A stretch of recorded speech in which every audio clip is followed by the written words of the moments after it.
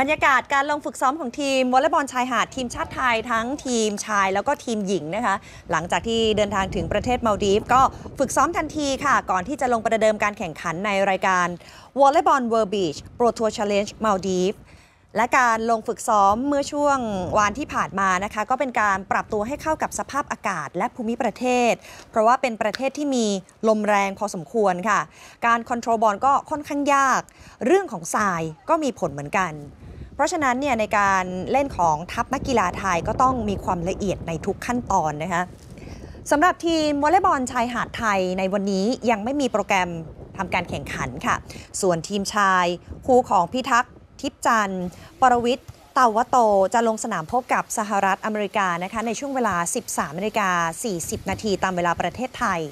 ในขณะที่คู่ของสุรินทร์จงกลาง แล้วก็บรรลือนาคประคองค่ะ จะพบกับ คู่เจ้าภาพอย่างมาลดีฟนะคะในช่วงเวลา 14นาฬิกา30 นาทีตามเวลาประเทศไทยค่ะ